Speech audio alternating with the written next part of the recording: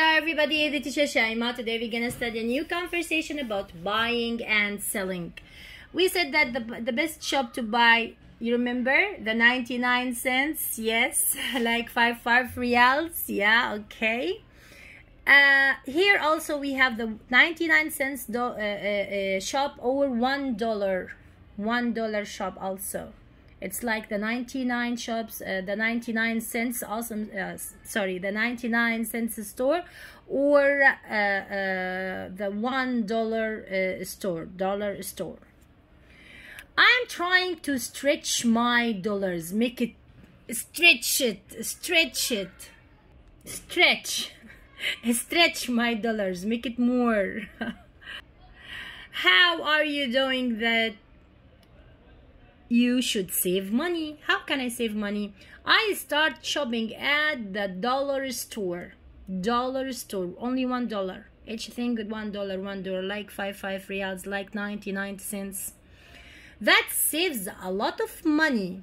Saves a lot of money.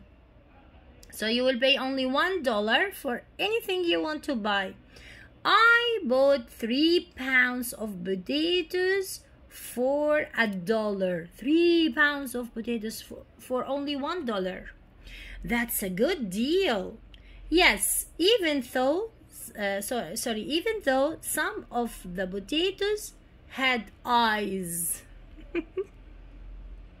so, not, wow, not good, had eyes. Like this. Okay? Like this because it's cheap only one dollar only one dollar. Some potatoes had eyes eyes. Just uh, put them in the fridge put them in the fridge. That's it.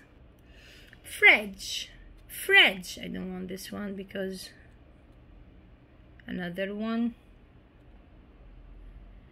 Fridge put it in the fridge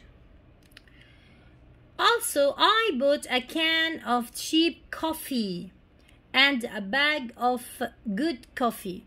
Cheap means not expensive. You will not pay a, a, a, lot of money. And good coffee, not cheap. You should pay a lot of money, but it was only one dollar. So he bought coffee also from there.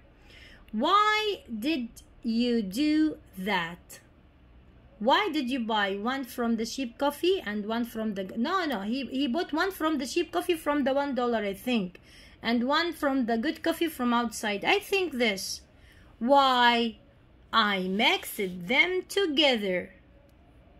He put both together the good and the cheap one if the coffee still tastes okay, that's a good idea. if it's okay, it's a good idea to buy coffee with only one dollar and one good and put them together. See you tomorrow. Bye.